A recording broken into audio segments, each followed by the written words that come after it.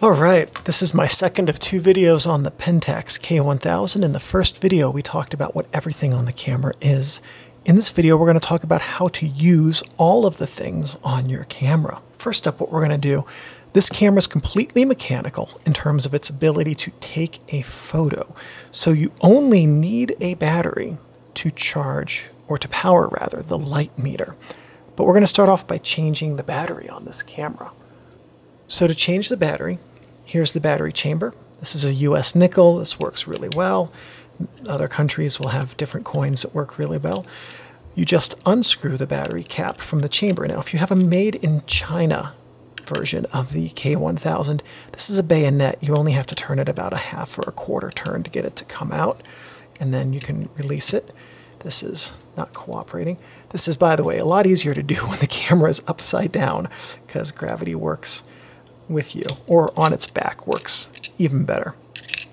Okay, so here's the battery cap. All right, so there's the battery cap. Here is a 357 style a size battery. So the the K1000 takes a single 357, which is also called AG13, LR44, A or S76 battery. The side with the text is your positive terminal, and it just fits right into your battery cap like that. So when you hold your battery cap, then you should see a side with no text. That is the negative terminal.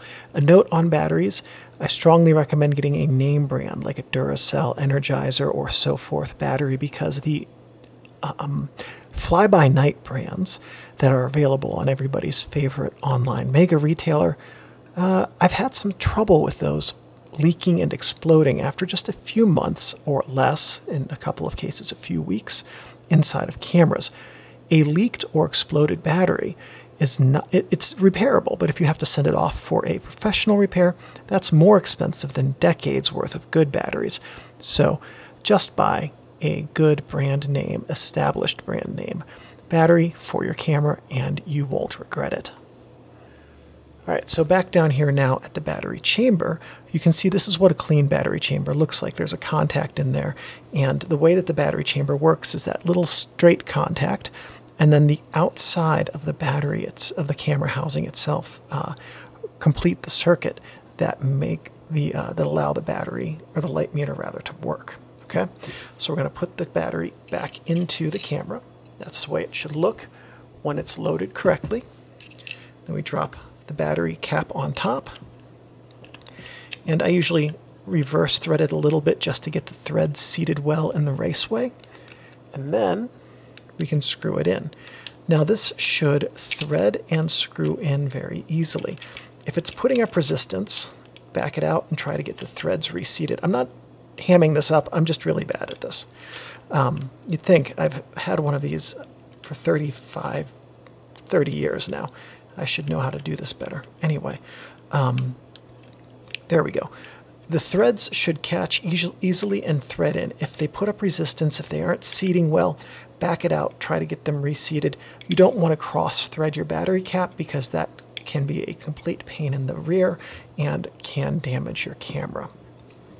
Okay, with the battery cap, in, with the battery installed, now the light meter has power and the light meter is going to work what what does the actual light meter look like?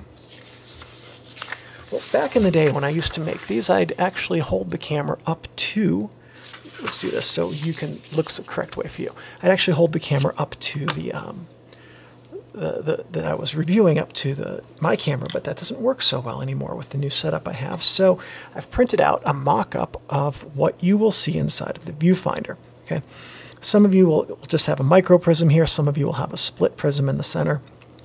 But for what we're going to talk about with the light meter, this is what matters, okay?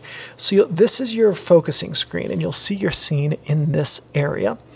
And then as you adjust your aperture and shutter speed, your aperture being this on the ring right here, and your shutter speed being this dial right here, this needle is going to move up and down. As you change lighting conditions, this needle is going to move up and down. So if you're sitting, let's say, in a room right now, take your camera, make sure it's got a good battery in it, point it at the wall, and then point it at a lamp. And you'll notice that meter needle should change.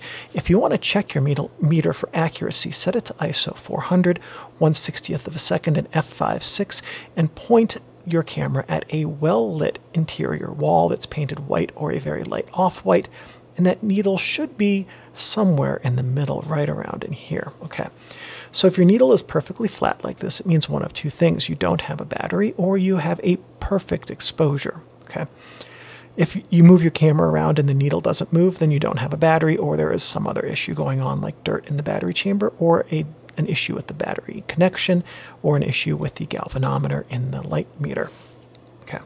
So your, your needle should, should change anytime you adjust the aperture or shutter speed or film speed dial and anytime you adjust lighting. Up here, that's an overexposure. So if your meter needle moves up too much light, your image is going to be very blown out and bright. This is a minus sign down here.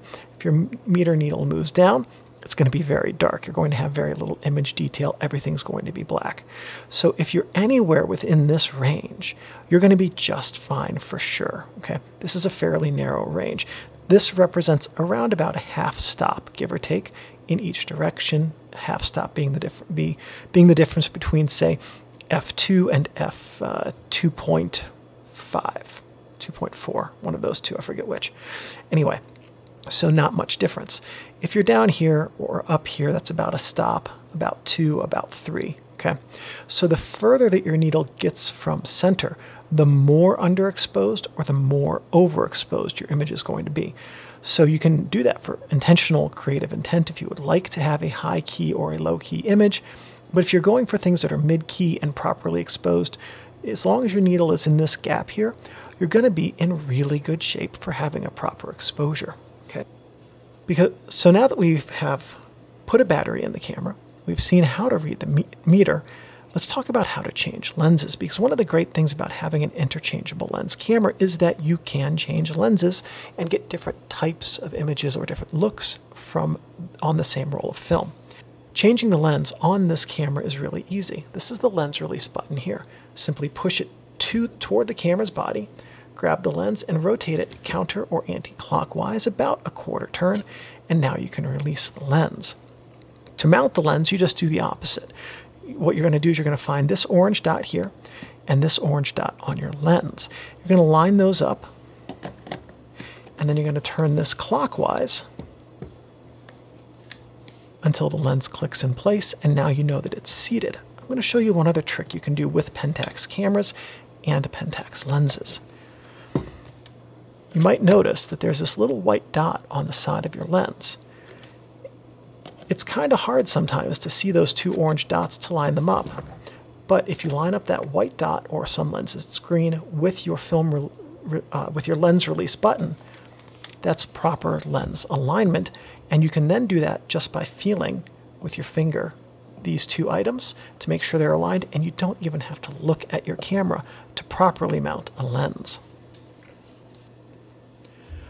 So now that we've seen how to do some basic operation, let's talk about loading and unloading film from the camera.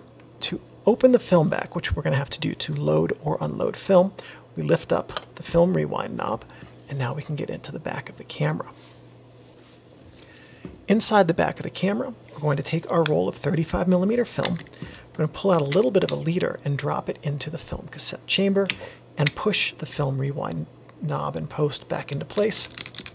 That way the film won't come out I'm going to draw out the leader a bit and we're going to feed it into this little slit here. It should grasp pretty easily, but if you want, you can put your finger over the sprocket hole here where the sprockets meet the, um, the teeth on this gear and hold it as you advance the camera. And that will help make sure that the teeth engage the film and that it's pulled out uh, e evenly. Now, as we saw in the first video when we opened the back of the camera, I was talking about the film guide rails. Here you can see them doing their job. The outer rails keep the film from moving up and down, and the inner rails you can see through the sprocket holes. When the film back closes, now the pressure plate is going to sandwich those, just like that. Next, what we're going to do is we're going to go over here. We're going to make sure that the ASA is set to our film's ISO. Now remember, ISO and ASA are the same. This is currently set to 400, but let's assume that we're actually using 100 ISO film. We're just going to lift up on the shutter speed dial setting ring, and now we can adjust the film speed to whatever we need to have the actual ISO be. And now, with it down, we can adjust the shutter speed, okay? We're going to advance the shutter three times. I want you to watch this as I advance it the next time. You can see here that this is spinning.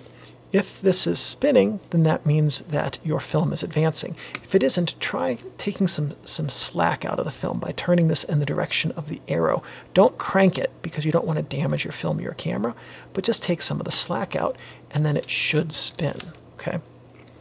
Now we've done that three times. We are now at frame number one and we're ready to go. The reason that we do that is, I'll show you here inside the camera. Don't, don't do what I'm about to do. I'm doing this for illustrative purposes. As you can see, this film looks different, right? We have different film now. You can see because there's a smiley face that I drew on here um, in the camera. As we advance the film, it's being taken up through the camera. I'll show you what that looks like.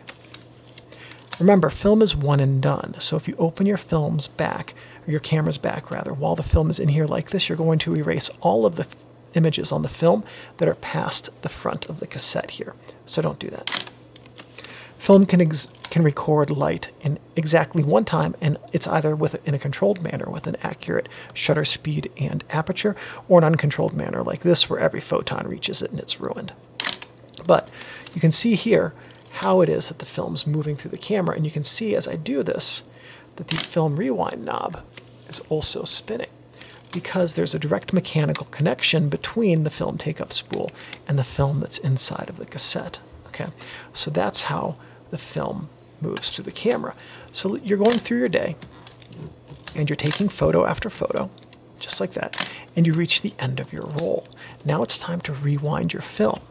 You're going to push the film rewind button in, and now you can just rewind it like this on some K1000s, like for instance the one that, that I had that was stolen, I had to hold the film rewind button down. I don't know if that was a change in design or if that those few just have some sort of thing that doesn't work correctly. But if if you have to hold it down, you may need to do that. You might have just heard a sound. That was the film here coming off of the take-up spool. And when you get to the end and you've completely rewound the film, this should feel a little bit easier to turn. So now we're going to open up the back of the camera and we can take the film out. Maybe. Come on. Okay, there we go. So you just lift, the, the way you do that is you lift this up and, and just drop the film cassette into your hand, by the way. Okay, so then if you rewind this the entire way, you'll be reminded that this has already been exposed and it's ready to go off to the lab to be developed. So you can leave a leader. If you develop yourself, you can leave a little bit of a leader here and then just write something like used or make a mark on it to remind yourself not to shoot it again so you don't get a bunch of accidental double exposures. But um, it, if you send them off to a lab, it's always a good idea just to pull it all the way into the film cassette to prevent the um, the film from being accidentally double exposed. Okay, so let's get out here a little bit, and you can now see this camera mounted on top of this flash because the next thing we're going to talk about is how to use a flash with this camera. First thing is, this is a standard Xenon Sync or X-Sync flash. Most, as I said in the first video, most flashes are like this and will work perfectly with your camera as long as you are set to 1 60th of a second or slower. We'll get to that in a second. So some tips here for using a flash to have your flash images turn out the best that they can. What you're seeing right now is the worst possible alignment for a flash. When you have a flash that's just above your lens, pointing at your subject, the light leaves this flash, reaches your subject, bounces back to your lens, and imagine like a wall of light doing that. It makes your subjects look flat and waxy, and it's not a flattering look for anyone. Think about how we see the world when we're outside underneath the sun, or at night underneath streetlights, or indoors underneath overhead lighting. And all of the light that we see shining on our world is from above, mostly. And when we see something lit from above, that is what our brains perceive as being normal and flattering. So if you want to set your subjects up to look good when you photograph them, get a lens, a flash rather, that does this, so that you can bounce the light off of a ceiling. This will allow you to create a light that mimics what we're used to seeing with light leaving the lens, reaching the ceiling, bouncing back to your subject, and then back to the lens, and creating a more flattering appearance for your subject. Okay? But what if you're outside? Then there's nothing, no ceiling to bounce it off of. Ideally, if you're going to buy a flash, you'd get one that can, can tilt like this, but can also articulate. So if you have your flash on your camera, you can rotate the flash head like this, bounce it off of a wall or a reflector or something like that, and then you can have lighting that's also still pretty flattering to your subject. Okay, that's all well and good, but what if your hot shoe dies? That does happen with these cameras. In fact, my K1000 had a dead hot shoe for most of the time I, I owned it. You can, or what if you want to use two flashes? You could also connect a flash to the PC port via a cable that would connect. This, this flash doesn't have a cable connection, but some flashes do. Or you can get hot shoe connectors that have a cable and connect it that way. And then you can use a flash either uh, handheld off camera or as part of like a strobe setup. There's another thing you can do with a camera flash that's connected via a cable like this. You can get something called a flash bar, and I don't have one. Oh, I do have one readily accessible. So this is a flash bar right here. And as you can see, it's got two quarter 20 screws on it and one of them screws into your camera's tripod socket, and the other one screws into an adapter right here that you can then put your flash on. So now, if you imagine that you have your camera set up like this, even if your flash is fixed in this position, like it doesn't articulate or tilt, you could shoot in portrait orientation and bounce your light off of the ceiling. Or you could shoot in landscape orientation and bounce your light off of the wall. So a flash bar like this is, if you already have a perfectly good flash, a really good way to give you some more flexibility with how you use your flash just by putting it off to the side of your camera. All right, so this is all well and good, but I've, I've done a lot of saying, here's how you should do things, not why. Let's talk about the way that a flash sync works on this camera. You can see I'm set to 1 60th of a second. Anything faster than 1 60th of a second and your flash will not work properly. A flash, a, a shutter like this camera has, which is called a focal plane shutter, works because one curtain opens and then set, the second curtain follows it. And then when you advance the film, they reset, okay? First curtain opens, second curtain follows, advance, reset, right? So if you're at 1 60th of a second, that first curtain opens and then the entire film area is exposed to light for roughly a 60th of a second, and then the second curtain closes and you advance the film. Well, if you're at, and, and if you do that, you take a 1 60th of a second exposure, you fire the flash, or the camera fires the flash more precisely, then all of the film will receive the light that bounces back to the camera from that flash, okay? So what if you're at 1 500th of a second?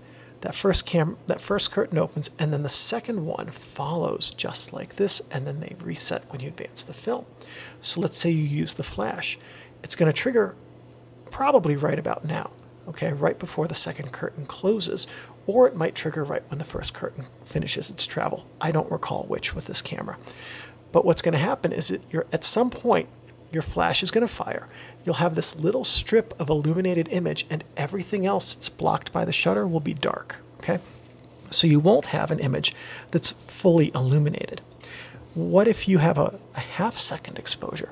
Well, the first curtain opens, your entire film plane is open, exposed to light for a half a second, and then the second curtain closes. So at 1 60th of a second, that's the fastest shutter speed at which the entire area of film is exposed to light at the same time. Anything slower and the entire area of film is exposed to light just for a longer period of time. So a flash will work with any shutter speed slower than 1 60th of a second. It just won't work with anything faster. All right, so what are some good creative uses of that? Well, let's say, for instance, that you wanted to do a bulb exposure of 10 seconds. You could hold your flash in your hand and trigger it at any point, whenever you're comfortable doing that. And so uh, the bulb is a very useful uh, way to control your light. If you had somebody walking through a scene with lights on, you could leave the shutter open in bulb, record the lights as they walk, trigger the flash at the exact moment that you right, trigger the flash and let go of the, the shutter button, and then you'll have your friend illuminated with like a stream of light coming off of them, for instance, as an idea of something you could do with that. So anything longer than a 60th flash will work. Anything shorter, it won't because of the way the shutter is designed. All right, so guess what? We have really gone through all of the operation. We've talked about how to use the shutter, how to adjust the shutter speeds, how to load, rewind film, use a flash, change lenses, and all that. We've even talked about what the light meter tells you. But what we haven't done is gone through and talked about how to actually take a photo. So let's do that. You've got a lens on your camera. Lens cap is removed. You've got your battery in your camera as well. You've you look through the viewfinder right here, okay? Make sure that the shutter is ready to go. Gonna look through the viewfinder. The, the needle is way up at the top. So we're going to bring the needle back down by adjusting the shutter speed and adjusting the aperture. There we go. Now we are have a, a proper meter, meter reading. The needle's very close to being in the middle. Take a photo. That's, well, oh, we forgot something. Shoot, you know what we forgot to do? We forgot to focus. So once you have a proper meter reading, then you're going to focus your, your image so that your subject is in focus, compose exactly how you want your image to look, and then take a photo just like that. Now, a quick note while we're talking about this, if you have a lens that has this green A on it, that does nothing whatsoever with this camera, so don't use the green A, okay? Don't, don't use that. It's not going to give you an accurate reading for your meter. Use any of the numbers that are not the green A when you adjust your aperture. Okay. So the Green A will work with a Pentax DSLR or, or film camera from the mid to late 90s. This one is from the mid to late 90s, but never mind. If your camera has electronic contacts, the A, will work. This camera does not. Okay, anyway, so that's how you take a photo. You just adjust your shutter speed and your, um, your aperture until you have a proper meter reading. Focus your image on what you want to have be in focus, and then when you're ready and you have your image composed, push the shutter button. But what about double exposures? First, we're going to talk about the mechanics of the double exposure, and then we'll talk about the science of the double exposure. So basically, with this camera can do double exposures. What you want to do is you want to first take all the slack out of your film. Okay, you want to make sure that the slack is out of it so that you don't accidentally shift the frame around when we're doing this next procedure. You're going to set up your, your scene and you're going to dial in the settings we'll talk about in just a moment. Take your first exposure. You're going to hold the film knob, which I find is easiest when the film lever is between my fingers. Push the film rewind button down and hold it and advance the film as you le advance lever as you do that. So you have three things you're doing at once. You're advancing the film advance lever, you're holding the film rewind button, and you're holding the film rewind knob. This keeps the film from advancing. This disengages the advance gearing so that you don't ruin your camera or your film. And then this action advances, rearms the shutter without advancing the film because you're holding the rewind knob and the rewind button down while you do that. Okay, and then you take your second photo, and then you take a photo, you advance it. Next thing you need to do is you need to make sure that you, you take a dead frame. Now, after that happens, you've disengaged the gearing by holding down the film rewind button. The gearing doesn't just instantly uh, re-engage. So you're only going to get a partial frame advance when you advance after your double exposure. So what you want to do is set this the shutter speed to a thousandth of a second, put your lens cap on, set this to f16 or 22, and then you take another photo and advance the film. That dead frame yes, it wastes half a frame, but it prevents your next shot from overlapping your double exposure because your double exposure won't advance the entire way. Your next frame would partially overlap it. That dead frame advances the double exposure the whole way so that your next frame can be recorded on the film properly without ruining the double exposure that you just went to the trouble of creating. Okay, so understanding the physical process of how to use your camera for double exposure, let's talk about the scientific process behind it, okay? So let's say you've taken your meter reading and 1 125th of a second in f5.6 is a proper exposure. Film is designed to receive a certain number of photons for a proper exposure. So if we did a double exposure at these settings, your film would receive twice as much light as it should, which would result in a negative that's called dense, dark, or thick. Three words that mean the exact same thing. Too many photons on the film, and the result of that is that your image will take longer to digitize, longer to print in the darkroom, and that in both cases it will have increased grain and reduced contrast, things that we really want to avoid. So, if we're going to do a double exposure, we want to, and we're going to do two photos, we want to cut the amount of film light that reaches the film in half. So, if we're at 1 125th and f5.6, we have two ways of doing that. The first way is to adjust the shutter speed. And it's very easy to cut the light in half by just going to 1 250th. These are all fractional seconds, so the higher the number, the less time. 1 250th of a second is half as long as 1 125th. So we could do that, or if we were we really, really want to have a 1 125th of a second exposure. So what we can do is we can use the aperture. And we can do go from f5.6 to, to f8. Each one of these marked numbers cuts the amount of light in half, in the same way that each one of these marked numbers cuts the light in half. F8 is half as much light as F5.6. F5.6 is twice as much light as F8. Okay? So basically, if you're going to do a double exposure, you would want to cut the amount of light that's reaching your film in half, take your first shot, hold the things down, advance, set up your second shot, take it, advance, f22, lens cap, 1 1000th, dead frame, and that's the process of taking a double exposure. And now doing that, you can do all kinds of creative things. Double exposures don't have to be taken at the same time. Do you want to take one in the daylight of a building, keep your camera set there until nightfall and have it show, uh, show up like the lights are illuminated during the day? Or maybe it's sunset and after dark to make the building's photo more dramatic. If you want to take a photo inside and outside, you can do that. All you have to do when you take your first and your second shot is adjust the amount of light reaching your film by half to allow the proper exposure. So you can do those two different shots at any different time and in multiple different settings.